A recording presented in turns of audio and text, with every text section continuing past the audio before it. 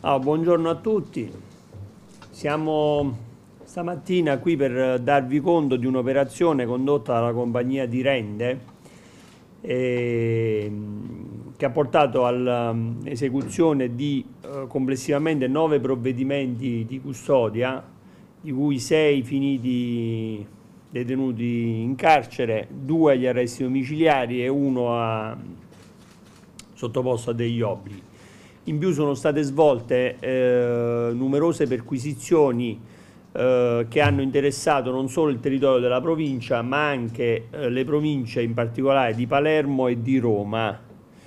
Ehm, è un'operazione che ha avuto inizio nel, nei primi mesi del 2010, si è sviluppata per un po' di tempo, dopodiché il tutto è stato refertato all'autorità giudiziaria che ehm, condividendo la bontà del, dell'attività investigativa, la procura di Cosenza che condividendo la bontà dell'attività investigativa ha poi richiesto le misure che sono state messe dal GIP di, di Cosenza. Per i particolari ora eh, lascerò la parola al capitano Miele, comandante della compagnia di Rende, che vi darà conto dell'operazione e poi eventualmente vediamo se ci sono domande.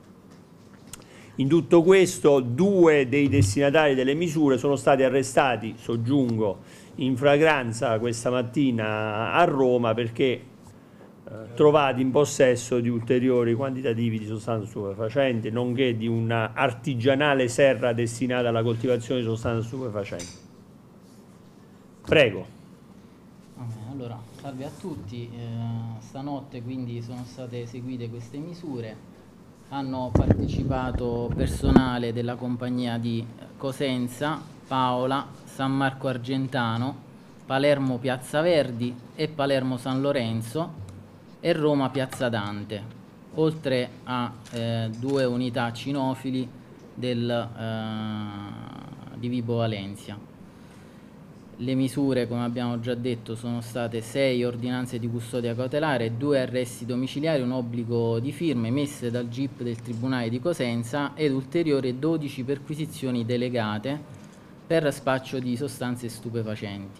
I soggetti colpiti da misure cautelari sono Intreri Antonio, un soggetto di Montalto Fugo, classe 63, residente a Marano Marchesato, pluripregiudicato, sorvegliato speciale con obbligo di soggiorno. Gagliardi Fausto, nato a Cosenza, classe 62, residente a Di Pignano, pregiudicato, già avvisato orale. Pasqua Davide, nato in Germania, classe 73, residente a Cosenza. Marotta Francesco, nato a Cosenza, classe 83, ivi residente, censurato.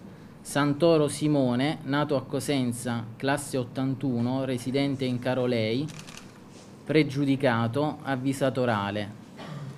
Questa misura è, è stata eseguita in Roma.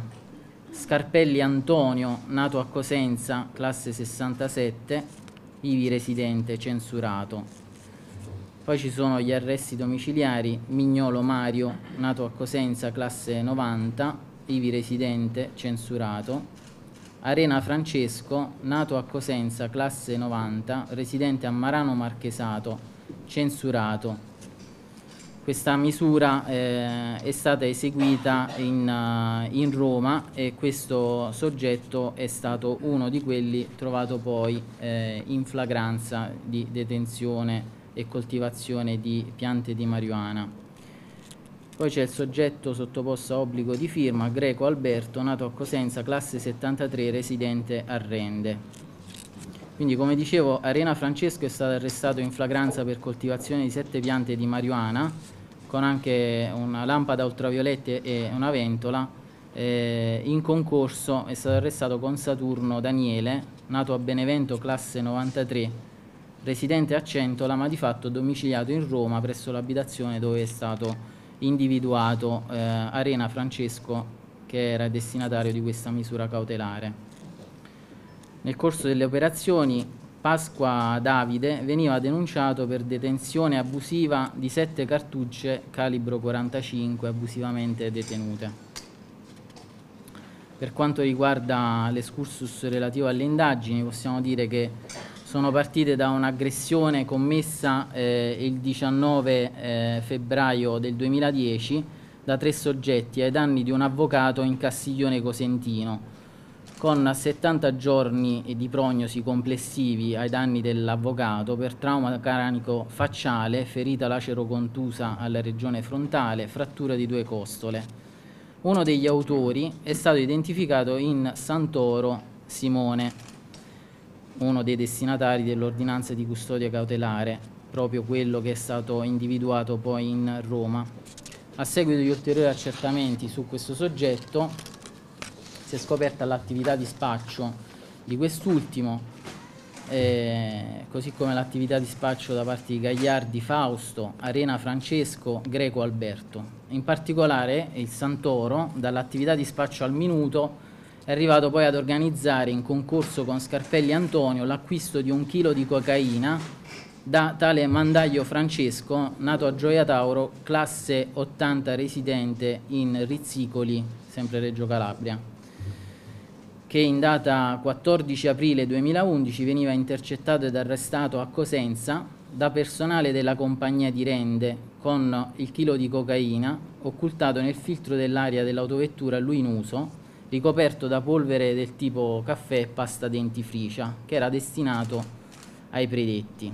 Il chilo di cocaina, Santoro e Scarpelli dovevano cederlo a soggetti di Palermo e nella stessa data dell'arresto di Mandaglio Santoro e la sua fidanzata venivano arrestati da personale della compagnia di Villa San Giovanni, attivati da personale della compagnia di Rende, perché viaggiavano verso la Sicilia con 29 grammi di cocaina occultati nel vano motore dell'autovettura per farla provare agli acquirenti palermitani.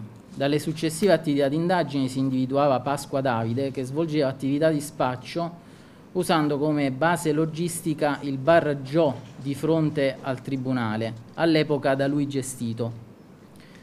Il suo abituale fornitore era Marotta Francesco, da cui acquistava circa 2.000 euro al mese di cocaina per poi spacciarla ai propri clienti, utilizzando vari termini criptati per indicare lo stupefacente come scommesse sportive, partita di calcetto, frutta, assegno, fotocopia, scontrini, macchina, champagne, libretto di circolazione, DVX, mangiare al ristorante, primo piatto, pizza, tutti i termini che a seconda degli interlocutori venivano di volta in volta utilizzati per alludere alla eh, cessione eh, di sostanza stupefacente o alludere alla sostanza stupefacente stessa. Successivamente il Pasqua, viste le difficoltà di Marotta nel reperire eh, lo stupefacente, eh, si riforniva da Intrieri Antonio di Marano Marchesato e Mignolo Mario. Durante le attività di indagine sull'attività di spaccio di Pasqua Davide, in data 20 giugno 2011 l'avvocato russo Andrea ingeriva cocaina per evitare un controllo di polizia e moriva per arresto cardiocircolatorio provocato dall'ingestione di sostanza stupefacente nella notte stessa. Preparato questo file in PowerPoint dove eh, sommariamente eh, si danno eh, dei dati essenziali eh, dell'operazione, eh, hanno partecipato un'ottantina di militari eh, della, del provinciale di Cosenza, due unità cinofili antidroga, come dicevo di Vibo Valencia e poi c'è stata la collaborazione delle compagnie di Palermo Piazza Dante, Palermo San Lorenzo e eh, Roma, eh, Roma Piazza Dante, chiedo scusa, Palermo eh, Piazza Verdi, lì c'è un errore di, di battitura, e Palermo eh, San Lorenzo. Eh, le, eh, le, misure quindi sono state eseguite in provincia di Cosenza, eh, e eh, due di queste in, in Roma. Poi eh, le perquisizioni delegate sono state eseguite in provincia di Cosenza eh, e quattro eh, perquisizioni delegate erano per soggetti in, in Palermo.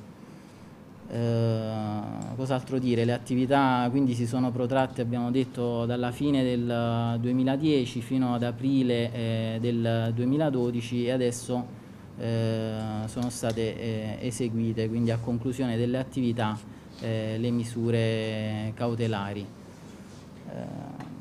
Bene, ci sono domande? Ma sull'avvocato picchiato chi era? 62 giorni se perché? Ma allora diciamo che eh, sull'avvocato picchiato, cioè picchiato, aggredito, eh, che, che ha riportato poi un bel po' di lesioni, eh, è, un, è l'episodio che dà là all'attività, o meglio, eh, indagando su quell'episodio si scopre che uno dei soggetti che aveva aggredito l'avvocato per vicende che non nulla hanno a che vedere con questa attività è dedito all'attività di spaccio di sostanze stupefacenti per cui prende il via questa attività. Quella è un'altra vicenda che nulla c'entra, cioè, poi si stacca completamente si stacca completamente da questa attività e quindi ha altre ragioni non ancora eh, disvelate per cui la- lasciamo stare chi è l'avvocato e sul perché. Abbiamo un'idea precisa sulla vicenda, però mh, voglio dire, quello è ancora al vaglio dell'autorità giudiziaria, quell'episodio specifico. Invece quello del ragazzo che muore perché la ingerisce era un posto di blocco che ingerito. Quello è un normale eh, acquirente de- de- di, di questa rete di spaccio che si svolgeva, come avete visto, soprattutto tra il capoluogo e i comu- comuni limitrofi, che appunto avendo acquistato lo stupefacente e visto che insomma, sono episodi assolutamente di onore della cronaca, quindi era un avvocato, un professionista, al controllo per evitare di essere trovato in possesso di sostanze stupefacenti, quindi poi incorrere eh, in sanzioni per l'assuntore, sapete, di carattere amministrativo, ma non, non crea della pubblicità non troppo gradita, ha pensato bene di ingerire questa sostanza stupefacente, il che poi ne ha determinato la morte. L'attività di spaccio si svolgeva proprio dentro il bar.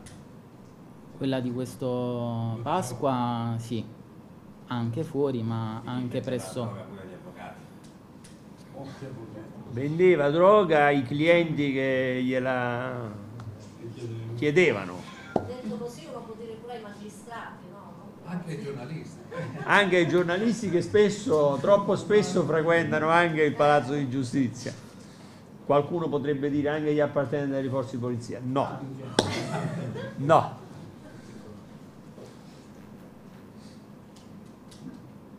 Quindi insomma a, a margine di questa attività purtroppo ci sono questi due episodi, soprattutto la morte dell'avvocato che No, ragazzo. La morte del ragazzo. Sì, era avvocato, dico avvocato perché era, il russo era avvocato. Eh, Nel corso dell'attività sono stati sequestrati poco più di un chilo, un chilo tutto insieme, insomma, più eh, quasi 30 grammi che portavano a Palermo per la pro, cosiddetta prova, più poco altre cose nel corso dell'attività, a riscontro proprio dell'attività quindi loro stessa. questa droga la prendevano dalla provincia di Reggio, dal Giuliano Allora, in, un- in quel caso avevano provato a eh, approvvigionarsi eh, da questo soggetto di, di Gioia Tauro, di Rizzicoli, Rizzico, come si Rizzicoli. E la volevano vendere a Palermo?